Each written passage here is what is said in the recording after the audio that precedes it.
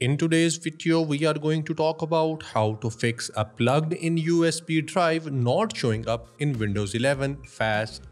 Myself Mohammad Zubair and this channel is all about showing you how to become a highly paid IT pro really fast. So without any further ado, let's get started.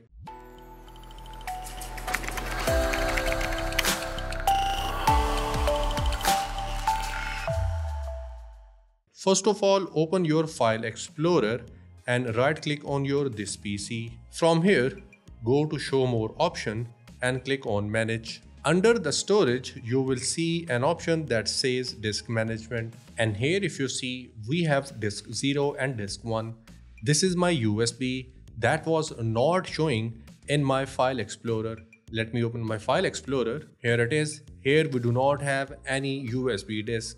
Well, why is that so? Well, this is because my window is not showing me my USB into my Windows 11 Explorer. To get rid of this problem, right click on your disk one and click on change drive letters and paths. From here, click on change and under the drop down arrow or list, select any name for your disk. I'll go with A and just click on OK.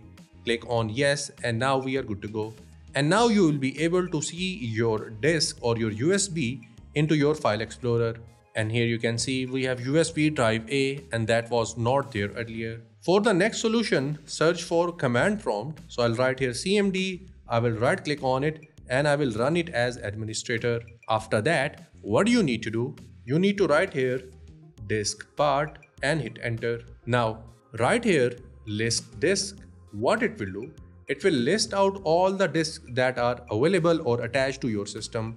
Here I have two of them. First one is 0, second one is disk 1. Now I'll write here select disk space 1, hit enter. Now what I'll do, I'll clean my disk 1 and everything that is there in my disk 1 will be removed and make sure you select the right one. For example, if I write here select disk 0 and then I clean it, everything from my system will be wiped off. So now I will hit enter.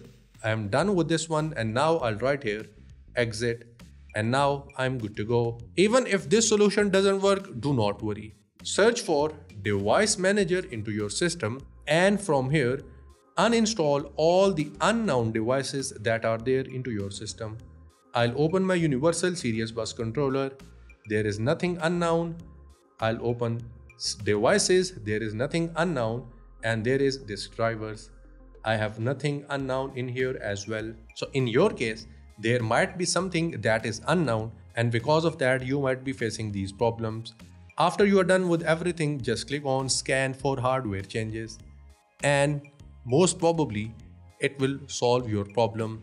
Now as we are into device manager what i'll do now I'll update the drivers because this can also solve the problem. So open your serial bus controller and from here USB composite device. Right click on it and update this driver. Search automatically. I am done with this one and do the same for your USB root hub 3.0. Now what we can do after this, we can disable these devices and we can re-enable them once again. For example, just right click on USB composite device and click on disable device. I will click on yes. After disabling it, I will re-enable it. It will work like a troubleshoot or you can say it will solve your problem. After disabling it, now we need to enable it back. So I'll just click on enable device and here it says, do you want to restart your computer? I'll click on no. And now we are good to go. If this work it's good. If it doesn't do not worry. Go to your disk drivers and here you will have two of the devices.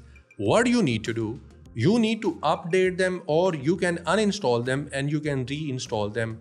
Do the same for both of them and after that make sure to restart your system. Otherwise the changes will not take effect. And then i'm sure you will get the solution of your problem.